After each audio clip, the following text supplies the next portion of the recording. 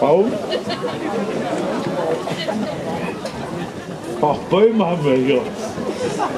Was wir jetzt nicht haben, ist natürlich, wenn wir die Biene wieder so versauen, die hauen uns den Schock voll her. Letztens war da so viel Blut, da muss man drei Tage lang wischen. Hast du Angst? Nee, Gott sei Dank. Hast du dich schon mal mit der Angst umgehen sehen? An deiner Stelle hätte ich Angst. Ich habe eine Idee. Ha, ha!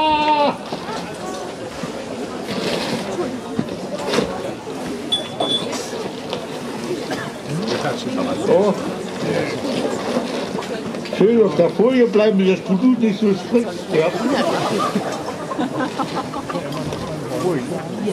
Nee, nee, nee, nee, nee, nee, nee. Nee, nee, nee. So, ja. Das Blut spritzt ja in die Richtung. Wir brauchen den ganzen Platz.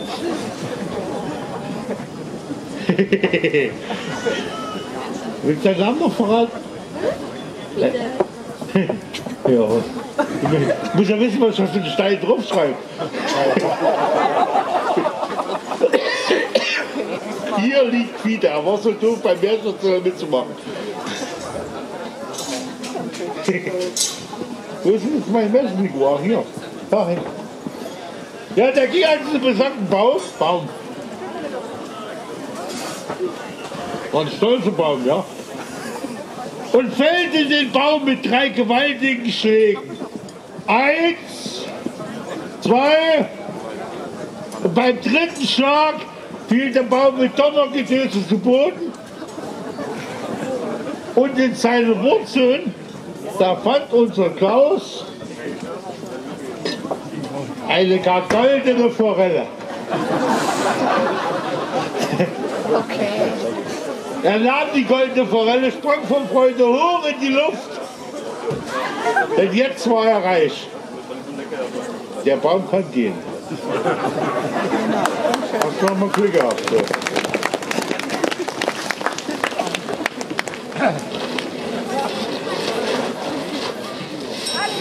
Vor lauter Freude warf er seine Axt ins Gebüsch.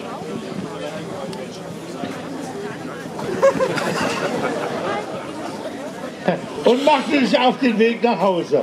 Aber es war schon sehr spät und wurde auch langsam dunkel und der Weg nach Hause war lang. Und so machte er Rast in einem Wirtshaus. Und in diesem Wirtshaus, da gab es einen Wirt.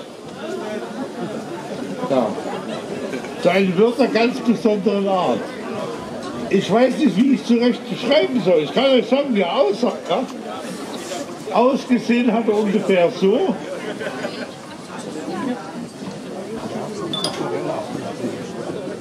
Ja, so hat.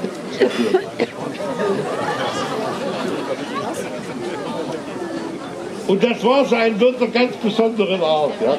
Ihr sollt euch nicht vor die Treppe setzen, ich lade euch spät.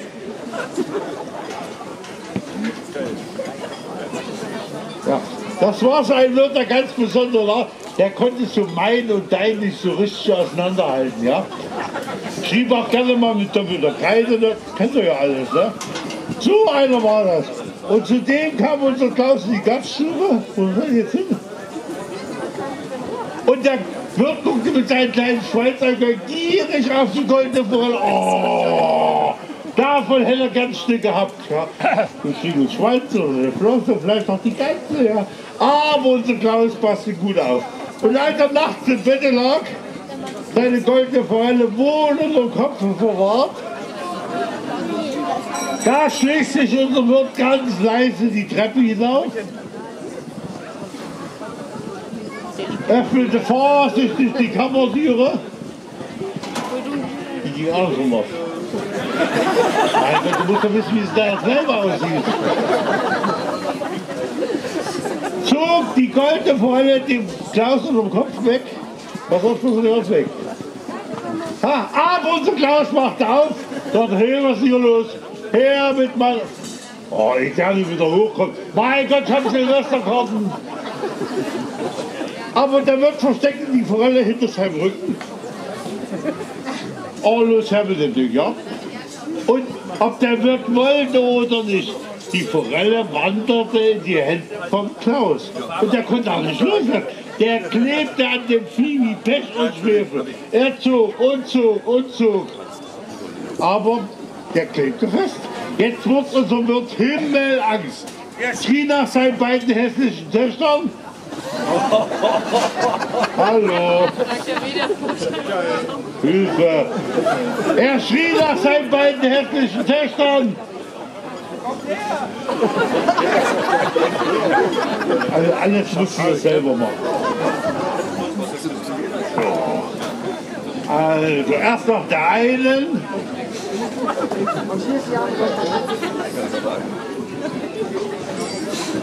So, hopp. Und dann nach der anderen. Ja, kleine Kinder vorsingen. Ihr sollt von der Treppe weggehen. Mein Gott, nochmal ist das so schwer. So, die kamen ihrem Vater zu Hilfe, sie zogen an ihn und zogen und zogen. Aber ha, die klebten genauso fest wie ihr Vater vorher. Das war ein Gebrüll in dem Haus. Alle riefen um Hilfe. Und just, just in diesem Moment, just in diesem Moment kam der Herold des Königs deswegen. Herold des Königs. Mal nicht so großen. Hört mit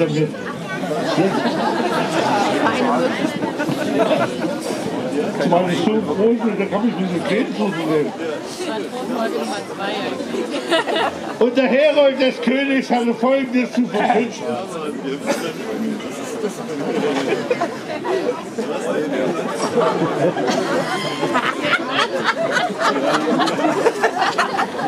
Ach, und, und, pardon, pardon, nicht so, ne? Deutschland scheiße. So nicht. Und so der Rest nicht. Das ist korrekt, ja. Volk, Heeret! Unser glorreicher Landesherr unser glorreicher Handelsherr. Nicht, nicht Handelsherr, Landesherr. Landesherr, Entschuldigung. Der König Der König hat eine Tochter, hat eine Tochter, namentlich die Prinzessin, namentlich die Prinzessin, die schon seit Jahr und Tag nicht mehr gelacht hat. Die schon ewig nicht mehr gelacht hat.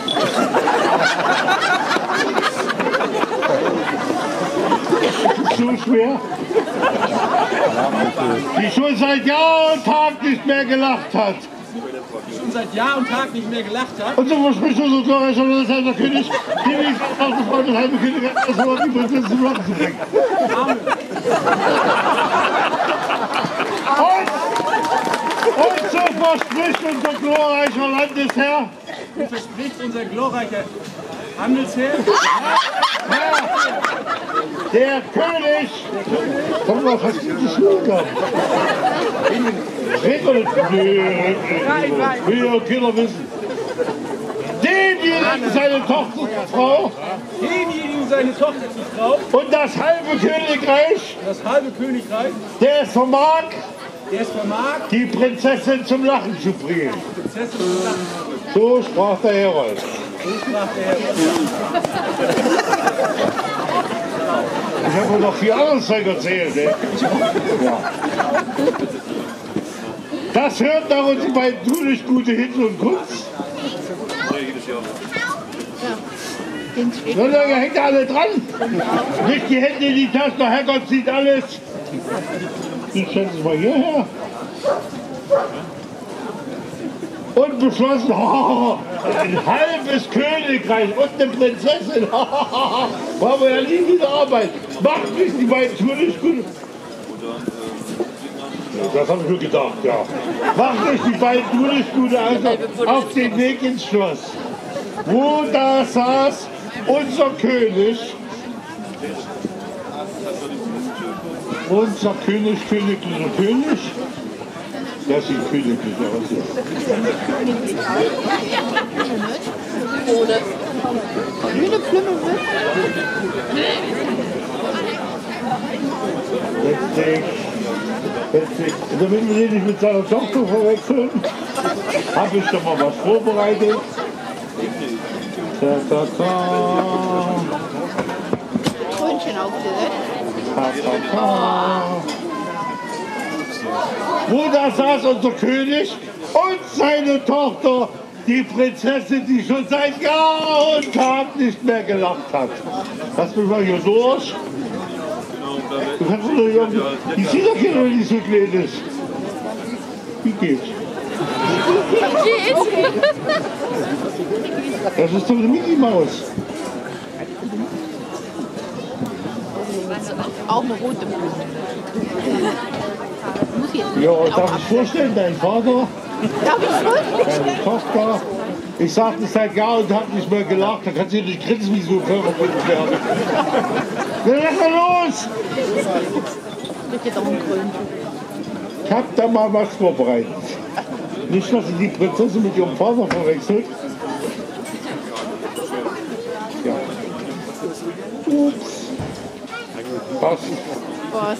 Ja, die beiden tun nicht gut. Hitz und Kunst stolpert in den Thronsaal. Und versuchen die Prinzessin zu lachen. Lass dich doch mal beraten. Der Hitz, der sprang und quackte wie ein Frosch. aber auch die Geschichte hören.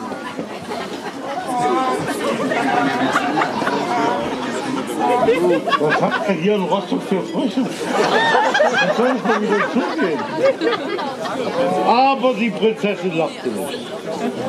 Und so versuchten der kurz ein Rad zu schlagen. Ich dachte nicht, dass das kann. Ich sagte nur, er versucht es.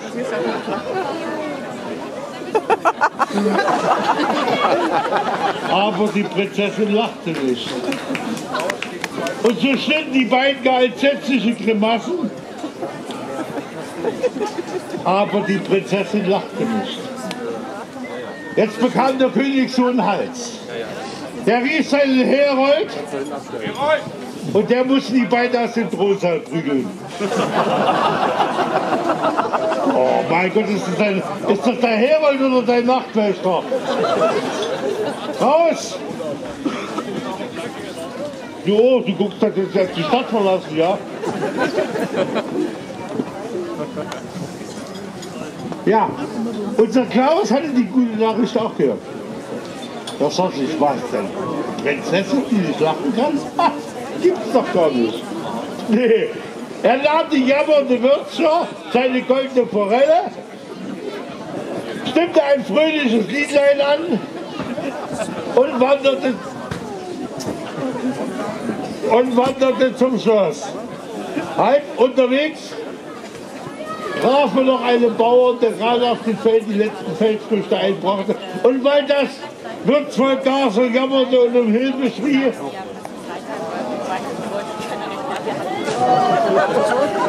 hatte der Bauer Mitleid, wollte denen helfen, ja, kam angerannt, angerannt, du klebst am Falschen, ja? und blieb ebenfalls kleben. Ja, ja. Jetzt holt unser Bauern Himmelangst, der schrie nach seiner Magd. Magd, zu Hilfe! Jetzt kannst du kommen. Die versucht ihren Herrn von, von der Forelle und blieb aber auch mit dem und so wurde der Zug immer länger und länger und länger. Dann ging es den Burgberg hoch. Unser Klaus latschte mit dem Jammern, jammernden Volk.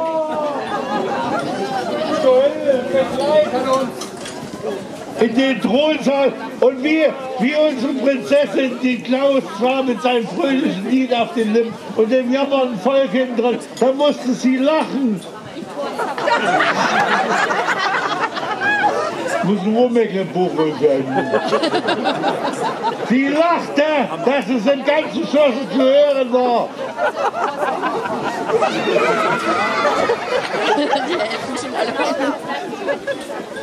Hallo. Und auch der König freute sich gar sehr. Er konnte seine Freude gar nicht so verbergen. Ja. Er machte sein Versprechen wahr. Er gab den Klaus seine Tochter. Oh, hat die keine Freude, die ist ja schon tot. Er gab den Klaus seine Tochter. Da passen sie wenigstens altersmäßig zusammen, die so viele Tote. Seine Tochter zur Frau. Das Volk wurde von der Forelle erlöst. Die Forelle wanderte in die Hände des Märchenerzählers. Da steht Bogen. Der König sagte sich, ach was Klaus, hast mein halbes Königreich, ich gebe dir die andere Hälfte auch noch. Ich, ich gehe jetzt in Rente, ich mache Urlaub in Malle. Hast das Königreich, tschüss. Ja? Und so wurde aus unserem Klaus, aus unserem Schussjunge, der König des ganzen Landes.